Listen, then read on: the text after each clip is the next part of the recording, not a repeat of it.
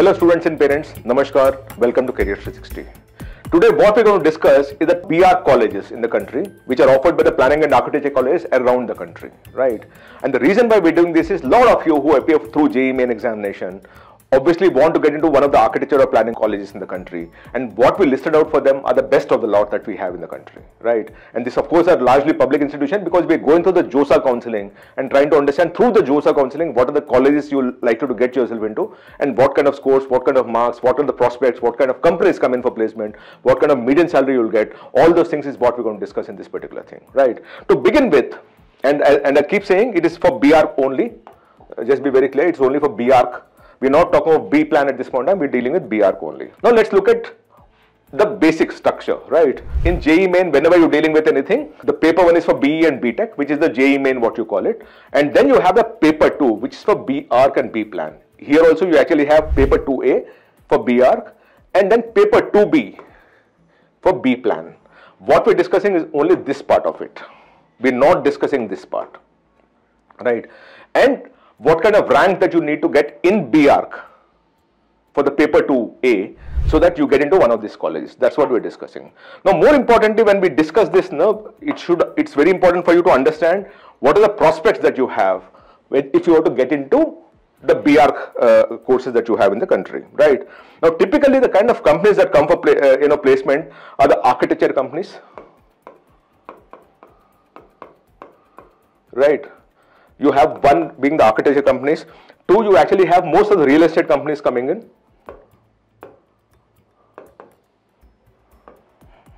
Right, then you have the urban planning and consulting firms coming in.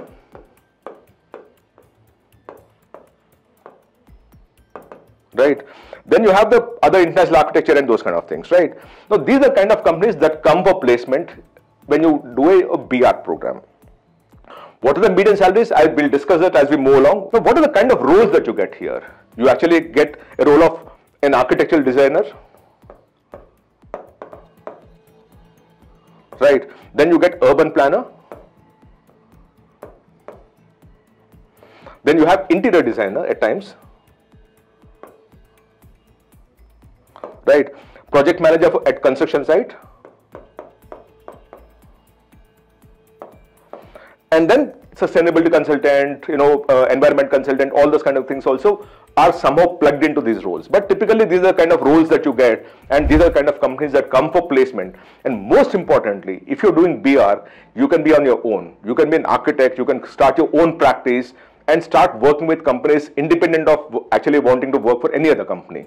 And a lot of architects actually start their own practice. The way a lawyer does his own practice, the way a chartered accountant does their own practice, if you're an architect, it gives you a lot of scope to create your own practice and which is where a lot of people prefer BArch, right? So having understood that, let's go to the next level. The first institute we're going to discuss is NIT Calicut. NIT Calicut was established in 2002 right? It's an institution of national importance. When you say INI, it means it's a separate act. The government of India works with it. No one else can step into the whole thing, right? The total students they have is 280, of which male is 52% and female are 48%. This is a very good ratio for these kind of uh, institutions because typically information technology institutes have about 75 80% being male and 20% being female but in this particular case because we're dealing with BR possibly that you actually have 50 to 48 which is a very very good ratio that we're dealing with. The fee range is about 8.25 lakh rupees for the entire course. And when you look at placement in 20 to 23 they had about 89% placement at a median salary of 5.3 lakh. So you actually have a decent salary and most of the students getting placed. The others might have preferred to start something on their own, but that's where we stand at this point in time as far as NIT Calicut is concerned. What is it that you require to be a part of NIT Calicut? Let's look at the uh, cutoffs. For EWS and all, let's first, I'll just deal with open and the others you can actually read through in terms of the categories, right? For the open category, you need a 271 as the closing rank. For the home state, for the home state, and for the outside the state, it's 372. So you need to be in the top 300, 400 in the country to be a part of NIT Calicut to pursue a BArch.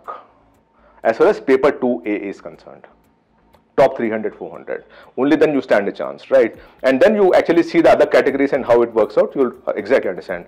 By the way, these ranks that you're dealing with, is inter-se merit, which means when we deal with SC, we're dealing with a rank within the SC category and 107. Don't confuse this 107 with 271 because it's not the same.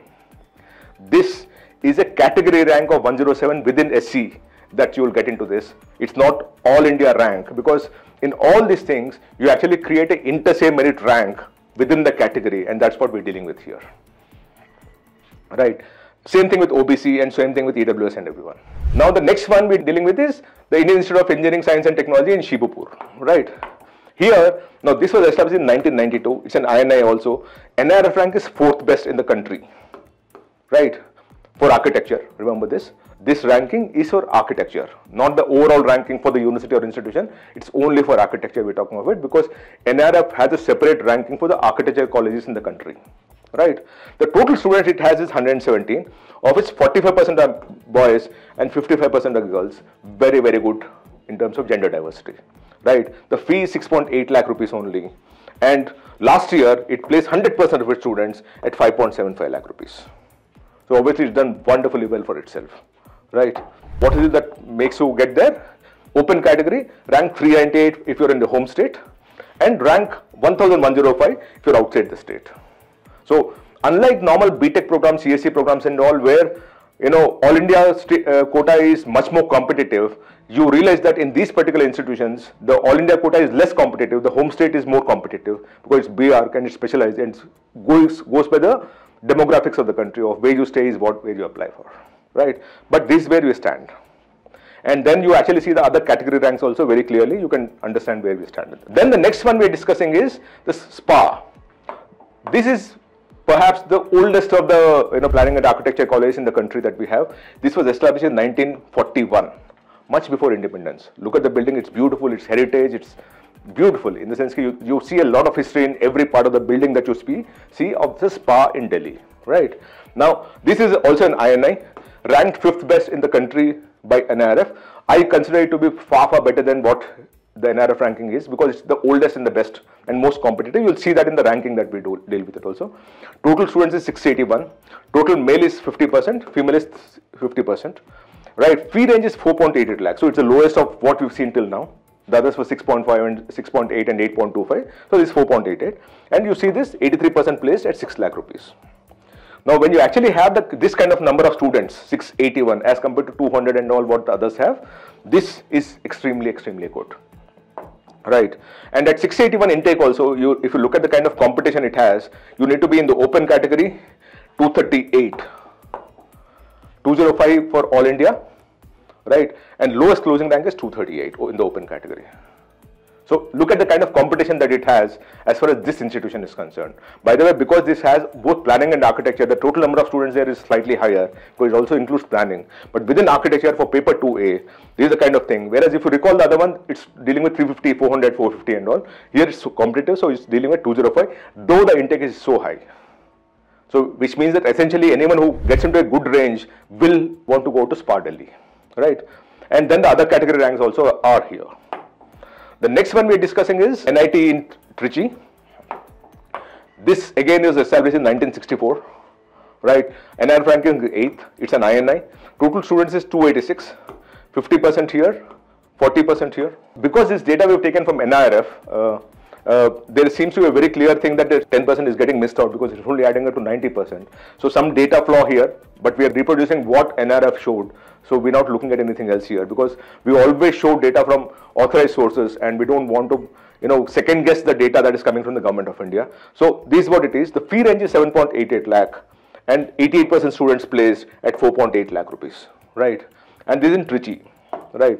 Now, what essentially happens here if you look at the closing rank uh, here, it's decently competitive. At the home state, you need to be 318 and outside the state is 348. So again, under 400. So if you actually see this whole thing, you'll realize that you need to be a less than 500 rank to be a part of any of these NITs and SPAs, the better ones that you're dealing with. The next one we're dealing with is an NIT Rourkela. NIT Rourkela was established in 2002. NI again, ninth best rank, 97 students only, 65% being boys and 35% being girls. Fee range being 7.8 lakh. 80% of students were placed at 4 lakh rupees.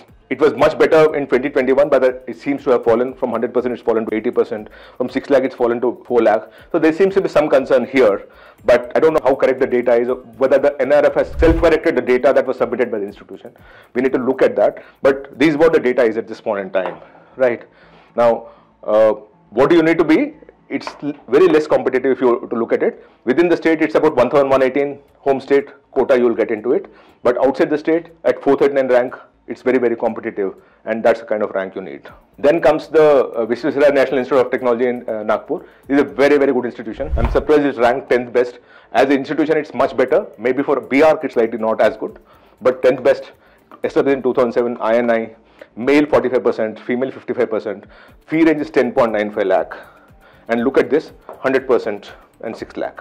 So I'm surprised that it's ranked 10th best and after all those things because these are the kind of performance is done very very consistently. Across the board you see 100% 90% 100% at 6 lakhs and above whereas others are placing 80 85% at 4 4 and a half 5 lakh rupees. Right? Now what do you need to be uh, to get into that? Again you will see it here. The open category is 847 uh, for the highest closing and 1350 is the lowest closing. Outside the state is more competitive at 803 and 1002 and uh, you also can see the other category ranks here right. The next one is the School of Planning. Again, I told you SPA is always, always very competitive. So the next one is SPA Bhopal. It's an INI established in 2008, ranking 12th. Total students are 479, 40% boys and 60% girls. Right. Fee range is 6 lakh rupees, 100% placed at 6 lakh rupees. Right. So obviously it is doing very, very well for itself. You see the building out here. Now, the next part of it is, you know, what kind of rank you would need. You need about 543 rank at all India level to be a part of SPA in Bhopal and 754 as the last rank. Then you have the MNIT in Jaipur. Now, this is a very good institution. It might be ranked 15th in architecture, but trust me, it is far, far better as far as engineering is concerned, the BTech courses are concerned. It's got 51% being boys, 49% being girls. 15th NIRF rank, 2007 established. Here, if you see, 96% students placed at 3.99 lakh rupees. It's been falling 6 lakh, 4 lakh 80 and 3.99. So there seems to be some kind of a concern here in terms of the way it's performing. The trending is not, doesn't seem very comforting for anyone.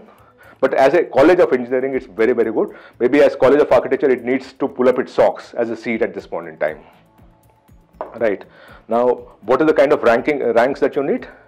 It's not, very less competitive if you just think through the thing. Outside the state, we're dealing with all India quota 745 being the rank for which you need it, up to 926. But if you're within the state of Rajasthan, even 1978 rank and 2524 rank for paper 2 in JEE main, you will get into that. And you also see the category ranks out here. Then you have the SPA Vijayawada. This is a new one that's come up very recently. Uh, 2008 it was established an INI 16 best ranked 461 students of which 51% are boys and 49% are girls. Fee is the lowest of the lot of spas that you see 3.8 lakh 100% placed at 5.5 lakh rupees so this seems to be doing pretty well for itself. Though I at times wonder whether how correct are these numbers because I do see some kind of variance in some kind of numbers. And by my experience, I can tell you that some of the other spa, spa Bhopal and, and those things are far better than possibly spa Vijayawada. But data says so, so go by the data. But I'm giving my opinion at this point in time that I'll always rate Spa Delhi and Bhopal better than Spa Vijayawada at this point in time. Right? It's a new building. You can see that actually here. Right? Now, what is the kind of competition? It's pretty competitive at 678 and 798 closing rank uh, for open category. And you also see the category ranks out here right? Then you actually have the Maulana Azad National Institute of Technology in Bhopal. This again MANIT is very very good. NIRF ranking is 17 for architecture 51% being boys and 49% being girls. Fee 7.19 lakh. 91% students placed at 5 lakh rupees. It's a new building out here what you see right and uh, the kind of competition that you have is not as much. Uh, if you're outside the state, all India quota, uh, you know, thing, 1084 is what you need a rank and paper 2 up to 1469 to get into the MNIT Bhopal. Right for BArch again, I'm saying this for BArch. All that we're talking of is BArch. So what we discuss at this point in time is a bunch of uh, school of planning and architecture and many of the NITs which offer BArch as a program and the fee ranges, if you notice, it is in three and a half lakh rupees to about seven and a half, eight lakh rupees. The placement seems to be between four lakh to about seven, eight lakh rupees. The placement percentages is between about 75, 80% to about 100%. But you need to appear for JEE main paper 2 2A more specifically, to get into any of these institutions. And they offer a great option only because if you want to be on your own and you like architecture, you want to be on your own, then this is the course for you and you can look at that. I hope this helps you. If you need any more information, if you want us to cover any more courses or career paths, please write to us in the comment section and we'll be more than happy to cover that for you. Thank you so much. Namaskar.